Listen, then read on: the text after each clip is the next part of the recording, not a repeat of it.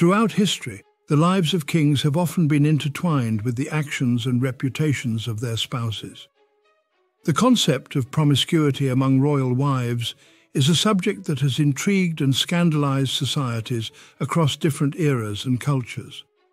While historical accounts often glorify kings, the promiscuity or alleged promiscuity of their wives has frequently been a source of fascination, gossip and even political turmoil.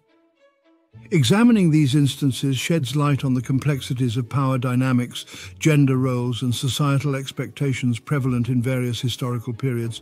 But first, smack the devil out of the subscribe button so you will never miss out on another historical adventure. But now, back to business. One notable figure in history known for her alleged promiscuity was Catherine the Great, Empress of Russia from 1762 to 1796. While she is celebrated for her contributions to Russia's growth and modernization, her private life was often a subject of salacious rumors and scandal.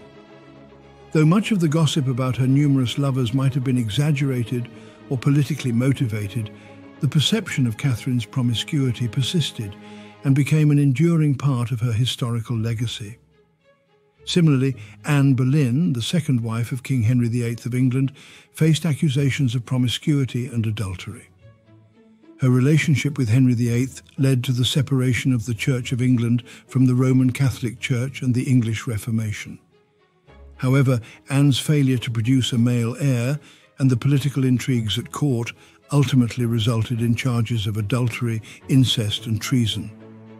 Her alleged promiscuity played a pivotal role in the downfall of her marriage and ultimately her tragic execution.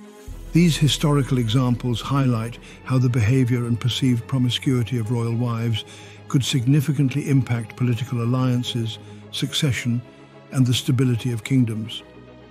The public scrutiny of these women often stemmed from patriarchal societal norms that held women accountable for maintaining the moral integrity of the monarchy and ensuring the legitimacy of heirs.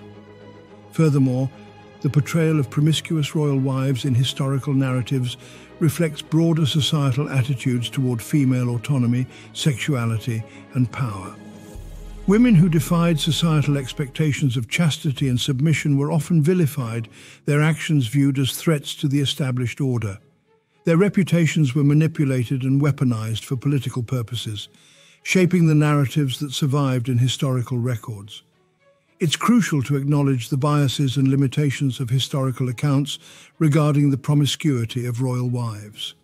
Many of these narratives were constructed by male historians and court chroniclers who were influenced by their own biases, political affiliations and cultural norms.